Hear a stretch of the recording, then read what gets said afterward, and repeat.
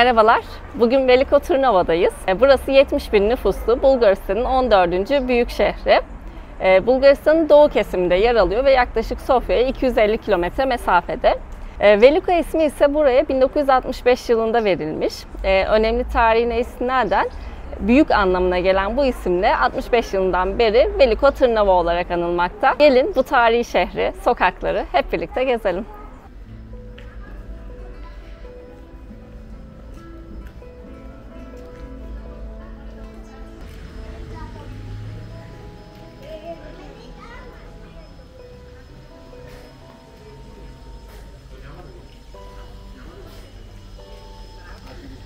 Bu sokak boyunca böyle ahşaptan yapılmış figürler bayağı yaygın. Burada ahşapçılık da meşhur çünkü. Bakın burada da ahşaptan yapılma. Buradan Burada da ahşaptan yapılma böyle küçük hayvan figürleri var.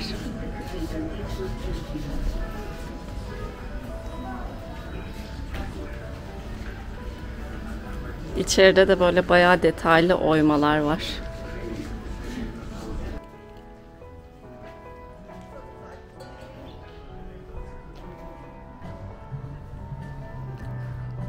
Resmen duvara sanat yapmışlar.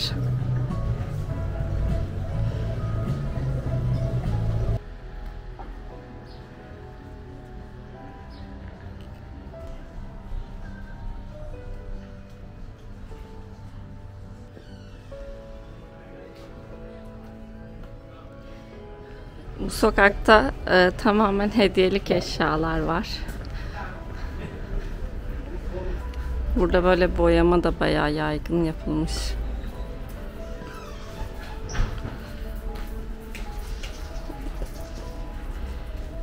Burası da şarap tadım yeri. Aşağıda mahzene iniyor sanırım. Burada böyle çoğu şey bakırdan. Hem bakır cezveler var. Şurada bakır küpeler falan var. İçeride olan da her şey bakır. Şimdi bir tane hediye dükkanının içine girdik. Burası bayağı büyük. Her şey var. O yüzden burayı çekeyim istedim. Ee, Bulgaristan'da güller çok meşhur. O yüzden de burada gülün her şeyini görebiliyoruz. İşte lokumundan gül sularına. Burada sabunlar var. Şöyle sağda her türlü krem. Bakım ürünleri yine gülden. Karşıda şöyle her türlü markanın kupası var. Şimdi burada Bulgaristan'daki meşhur çanak çömlekler var. Burada özellikle bu desenler buraya özgü meşhur. Ve her boydan burada güveçler var. Aynı zamanda böyle tuzluk, karabiberlik, kahve fincanları, sigara küllüğü vesaire de var.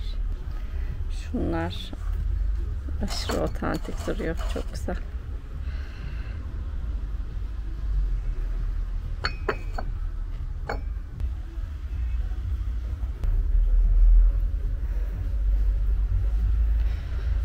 Burada böyle ayran için bardaklar var. Yine böyle güveçlerdeki desenlerden bardaklar var. Burada da tahta kaşıklar, tahta ürünler var. Bunları Bulgaristan'daki hediyelik eşya satan yerlerin çoğunda görebilirsiniz. Burada da böyle havlular. Böyle Bulgarya yazan kaneviçe işlemeli havlular var. Burada da Bulgaristan renkleri, desenleri.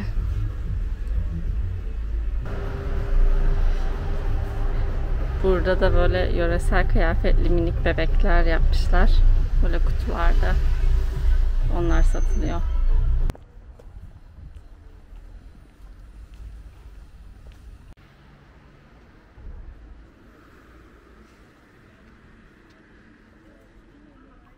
Velika Turnava 1187 ve 1393 yılları arasında 2. Bulgar İmparatorluğu'na başkentlik yapmış. O nedenle de Bulgar tarihi açısından önemli bir yere sahip. Bu şehir Eskişehir özellikle iki tepe arasında ve Yantra Nehri'nin kıyı kesiminde kurulmuş e, durumda. Tarihi 7000 yıl öncesine dayanıyor. Trakya kavimlerinin e, yaşadığı bir bölgeymiş o dönemde. Aynı zamanda yapılan arkeolojik kazılarda da Roma dönemine ait sikkeler bulunmuş. Veliko tırnavanın sembolü olan Saraves Kalesi de hemen şurada ileride. Şimdi o tarafa doğru gideceğiz. Şimdi karşıda kaleye giriş için bilet satılan yer var. Oradan bilet alıp içeriye girelim. Şimdi bileti aldık. Şöyle göstereyim. 2 yetişkin 20 leva. Şimdi Veliko Tırnava'nın sembolü olan Tsaraves Kalesi'ne geldik. Kaleyi arkamda da görebilirsiniz. E, bu kale bugüne kadar kalan surlarıyla, kapılarıyla oldukça tarihi bir yer e, ve çok fazla turist çekiyor. En çok e, turistin ziyaret ettiği bölge diyebiliriz burası için. E, içeride de zamanda yaklaşık 400 ev, 18 kilise ve saray yapılmış.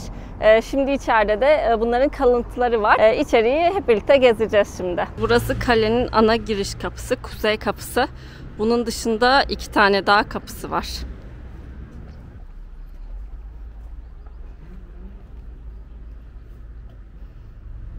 Kalenin tüm şehri gören muhteşem bir manzarası var.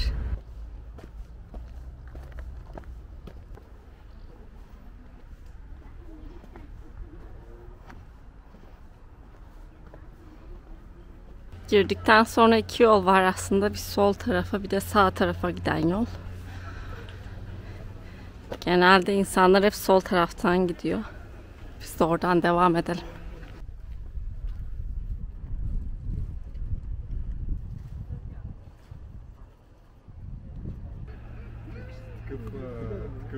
алфа-машкар, нали, да лъжи по такъв начин абсурд.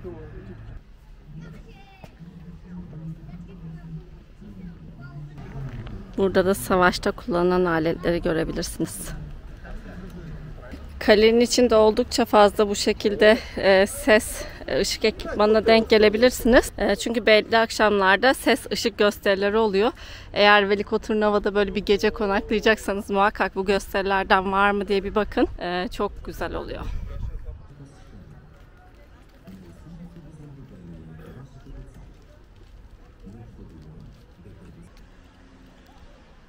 Köprü buradan daha net gözüküyor.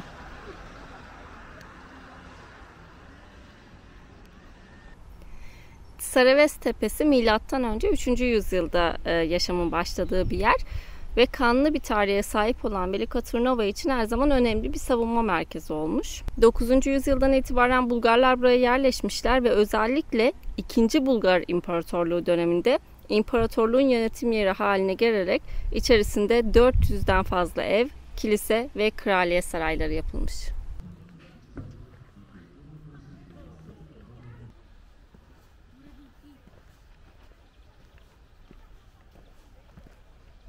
Şimdi kalenin en tepesine geldik.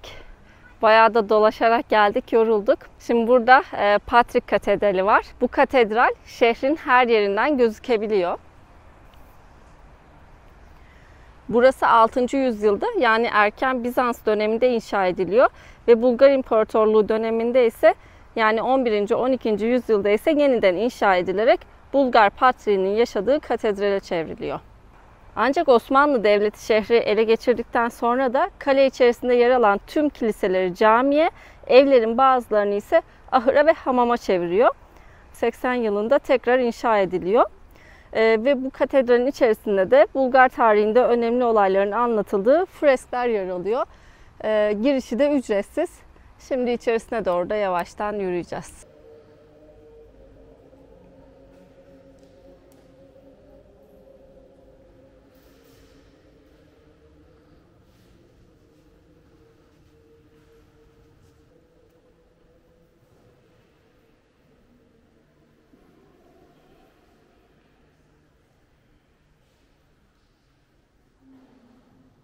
Katedralin hemen önündeyiz. Buradan muhteşem bir şehir manzarası gözüküyor. Hatta aşağıdan boşuna çekmeye çalışmışız dedik.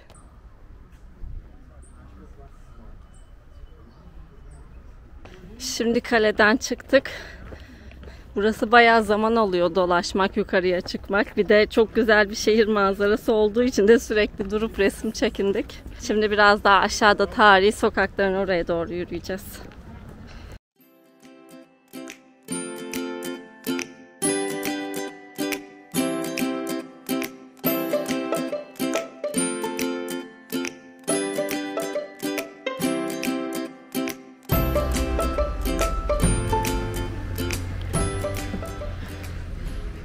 Karşıda da şimdi bir panoramik teras var. Manzara izlemek için. Çoğu yerde manzara izlemek için bu şekilde teraslar yapmışlar. Burası ise daracıcık, minnacık ama muhteşem bir şehir manzarası var burada da.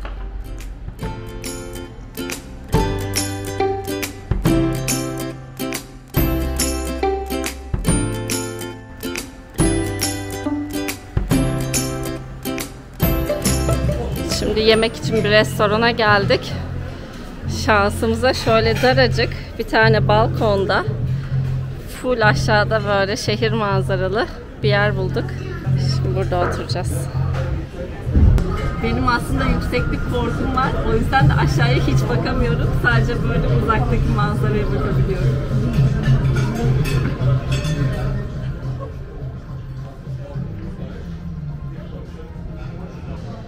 Biz bir tane pizza söyledik. O çok hızlı geldi onu bitirdik. Bir de şöyle bir tane e, kuzu sosisi söyledik.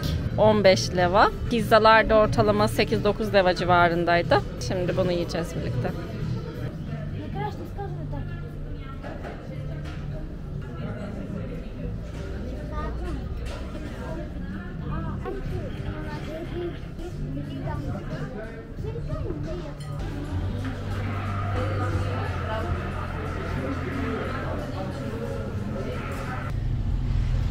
Veliko Turnava'da bu sıcaklarda yapılacak aktivitelerden biri de dondurma yemek.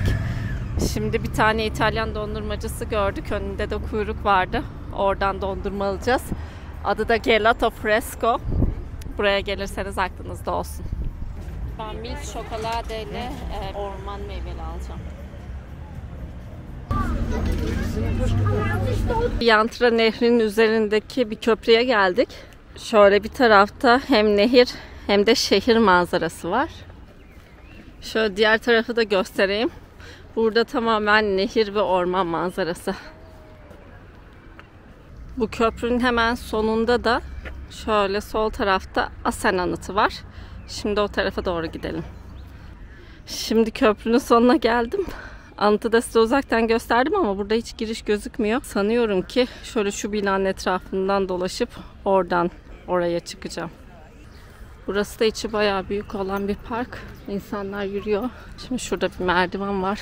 Bu merdivenden çıkıp şu karşı yol üzerinden yürüyünce sanırım anıta gideceğiz.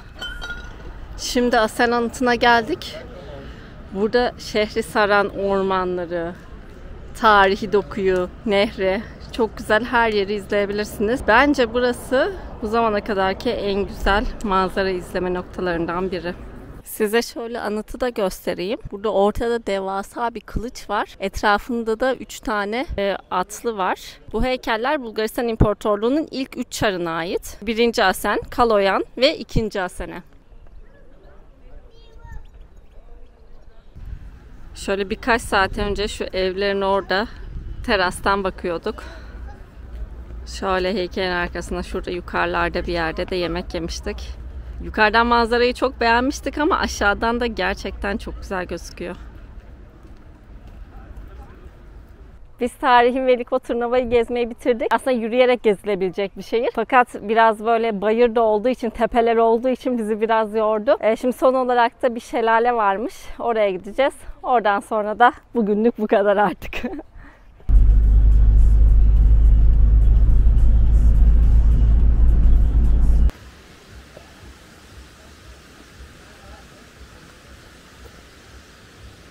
Biz şimdi Hotnitsa şelalesine geldik. Kaya Bunar. Burası Hotnitsa köyünden devam edince e, hemen içeride kalıyor.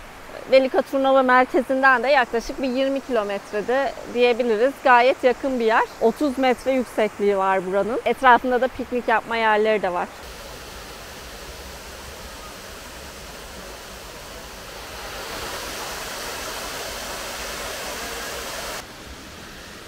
Burası gerçekten çok güzelmiş. Eğer Veliko Turnava taraflarına gelirseniz kesinlikle tavsiye ederim buraya da uğramanızı. Şimdi genelde insanlar yalnız bir şelaleye gelip e, kısa durup gidiyorlar. Böyle yukarıya doğru merdiven var. O merdivene doğru gidiyorlar. Şimdi biz de o merdivenlerden yukarı doğru gideceğiz. Bakalım orada manzara nasıl gözüküyor. Aynı zamanda bu şelale böyle yürüyüş parkurlarının da başlangıç noktasıymış. O yüzden de e, ileride oldukça fazla yol boyunca köprüler de varmış. Burada merdivenler bayağı dik. Tutunma yerleri de ahşaptan çok sağlam değil. Yani buraya gelirseniz kesinlikle sağlam bir yürüyüş ayakkabısıyla gelmenizi tavsiye ederim.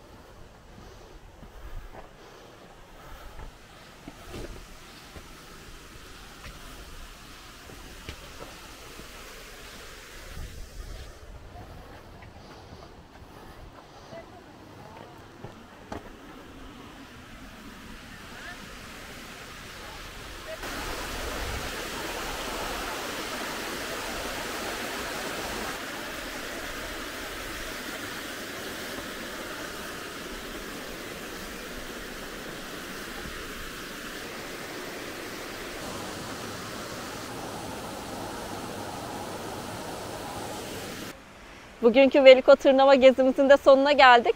Çok güzel bir yerle bitirdik. Umarım siz de beğenmişsinizdir. Bir sonraki şehirlerde görüşmek üzere. Hoşçakalın.